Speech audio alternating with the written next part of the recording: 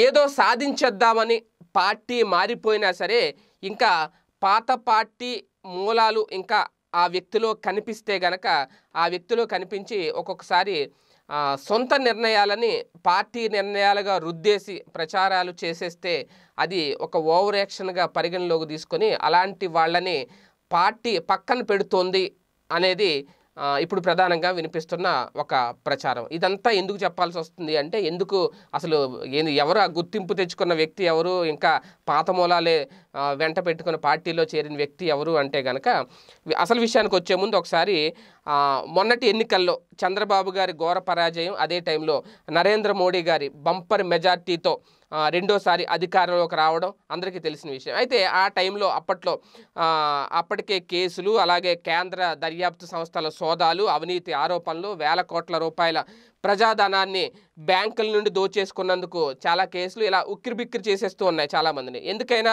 మంచిదన్న ఉద్దేశంతో చంద్రబాబు నాయుడే అప్పట్లో టీడీపీలో ఉన్న ఒక నలుగురు రాజ్యసభ ఎంపీలు అలాగే వాళ్ళు సుజనా చౌదరి సీఎం రమేష్ గరికపాటి మోహన్ రావు టీజీ వెంకటేష్లను వీళ్ళందరినీ బీజేపీలోకి పంపేశారు అనే ఒక ప్రచారం అయితే జరిగింది. ఎందుకంటే ఇలాంటి కేంద్ర దర్యాప్తు సంస్థల సోదాలు వీళ్ళ మీద కేసులు ఇవన్నీ ఉన్నప్పుడు అధికార పార్టీ కేంద్రంలో అధికారంలో ఉన్న పార్టీలో ఉంటే ఆ ఒత్తిడి కొంచెం తగ్గుద్ది అనేది అనే ఉద్దేశమో లేదా కారణం ఏదైతేనో ఆయనే పంపించారో లేదో పంపించేశారనే ఆరోపణలు అయితే ఇప్పటికే ఉన్నాయి. సో ఇలాంటి టైంలో పంపించడం వరకు ఒక విషయం. పంపించారా లేదా అనేది పక్కన పెడితే కనుక వీళ్ళేమి పెద్ద అంటే కడిగిన ముత్యాలా కాదనేది పక్కన పెడితే రాజ్యసభలో పార్టీ పడుతున్న ఇబ్బందులను దృష్టిలో ఉంచుకొని నరేంద్ర మోడీ వీళ్ళని కూడా బీజేపీలో చేర్చుకున్నారు అప్పుడు. అలాగని చెప్పి వీళ్ళేమన్నా పెద్ద కడిగిన ముత్యాలా వీళ్ళేమన్నా తోపులా అనుకుంటే దాని గురించి ఇక్కడ మనం ప్రస్తావించలేం. కాకపోతే రాజ్యసభలో వాళ్ళ స్థానాలు పెంచుకునే ఆలోచనలో భారతీయ జనతా పార్టీ ఉన్న నేపథ్యంలో ఈ నలుగురిని తీసుకుంటే వాళ్ళ ఖాతాలో పడతారు కదా అనే ఉద్దేశం ఒకటి అయి ఉండొచ్చు మేబీ. అయితే బీజేపీలో చేరిన తర్వాత ఈ ముగ్గురు ఎంపీలు దాదాపుగా మామూలుగానే సైలెంట్గా ఉన్న సుజనా చౌదరి గారి పేరు మాత్రం తెర మీదకి వస్తూ ఉంది. ఏ విషయంలోనైనా ఆయన మాట్లాడుతూ ఉండడం ఆయన స్టాండ్ భారతీయ జనతా పార్టీ స్టాండ్గా వినిపించడం అంటే మన మూడు రాజధానుల అంశం అంశంలో కానీ జగన్ గారికి వ్యతిరేకంగా మాట్లాడే విషయంలో కానీ అంటే అక్కడ చాలా స్పష్టంగా అర్థమైపోతుంది. ఇంకా చంద్రబాబు గారికి సపోర్ట్గా మాట్లాడుతున్నారు సుజనా చౌదరి గారు అనేది. ఆయన ఎప్పుడు మాట్లాడుతున్నా ప్రజలకు అర్థమయ్యే రీతిలో ఆయన వ్యాఖ్యలు చేయడం ఇవన్నీ తాజాగా బయటకు వస్తున్నాయి. అయితే ఇదే టైంలో చంద్రబాబు గారు ఒకవేళ భారతీయ జనతా పార్టీతో సఖ్యతగా ఉండాలి అని అనుకున్నా భారతీయ జనతా పార్టీ మాత్రం తెలుగుదేశం పార్టీతో కలిసి నడవాలి అనే ఉద్దేశం బీజేపీకి లేదు అని చెప్పి వాళ్ళు స్పష్టంగా చెప్పేసిన సందర్భాలు చాలానే ఉన్నాయి.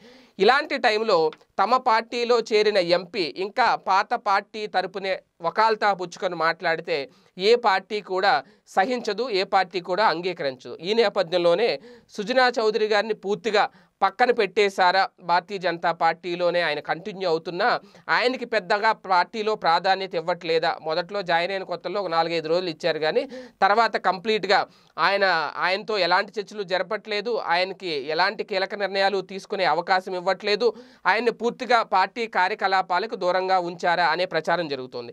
అయితే ఇక్కడ ఏంటి అంటే అయిన దానికి కాని దానికి జగన్మోహన్ రెడ్డి గారిని పూర్తిగా వ్యతిరేకించడం దాంతో బీజేపీ అగ్రనేతలు ఎవరైతే ఉంటారో వాళ్ళ దగ్గర సుజనా చౌదరి గారి పంచాయతీ ఎప్పటికప్పుడు జరగడం. అందుకే ఈ ఫిరాయింపు ఎంపీని పార్టీ కార్యక్రమాల్లో పూర్తిగా పక్కన పెట్టారు అనేది ప్రచారం జరుగుతుంది. ఎందుకంటే ఏపీకి సంబంధించిన ఏ విషయంలో కూడా ఈ ఎంపీని భారతీయ జనతా పార్టీ సంప్రదించకపోవడం అలాగే మొన్న విజయవాడలో జరిగిన పదాధికారుల సమావేశానికి కూడా కనీసం సుజనా చౌదరి గారికి ఆహ్వానం పంపించకపోవడం ఇవ ఇవన్నీ చూస్తుంటే గనక భారతీయ జనతా పార్టీ అది అధికార పార్టీ ప్రతినిధి అలాగే రాజ్యసభ ఎంపీ ఎంపీగా ఆయన మాట్లాడుతూ సుజనాకు ఇంకా టీడీపీ వాసనలు పోలేదు అని చెప్పి ఘాటుగా వ్యాఖ్యానించడం మొన్న ఆ సభలో ఒక కీలక నేత జాతీయ అధికార పార్టీ ప్రతినిధి ఇంకా సుజనా చౌదరి గారికి ఆ పా పాత పార్టీ వాసనలే అలా ఉన్నాయి అని చెప్పి మాట్లాడడం కూడా ఒక కొత్త చర్చకు తెరలేపింది. అంటే ఏపీ విషయాల్లో సుజన పూర్తిగా దూరం పెట్టేసినట్లే అనుకోవడం తనంతట తానుగా ఏదైనా మాట్లాడినా సరే అది ఆయన వ్యక్తిగతమే కానీ పార్టీకి సంబంధం లేదని చెప్పి బీజేపీ నేతలు చెప్పేయడం మొత్తానికి పార్టీలో ఉన్నారు కానీ సుజనా చౌదరి గారి పరిస్థితి కొంచెం కష్టంగానే ఉంది అనేది కూడా వినిపిస్తున్న ప్రచారం. తర్వాత మరి దీని పరిస్థితులు పరిణామాలు ఎలా ఉంటాయి? ఆయన పార్టీలో కంటిన్యూ అవుతారా? అవగలరా? లేదా? ఏం జరుగుద్ది ఏంటనే చూడాలి. ఈ వీడియో గనక మీకు నచ్చినట్లయితే లైక్ చేయండి షేర్ చేయండి. మరిన్ని వీడియోస్ కోసం మా ఛానల్ను సబ్స్క్రైబ్ చేయండి.